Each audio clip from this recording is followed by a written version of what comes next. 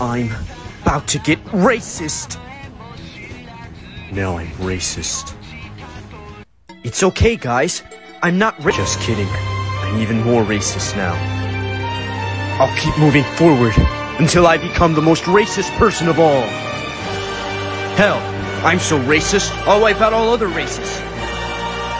I've done it. I've become the colossal racist. Wait a minute, guys. I was never racist.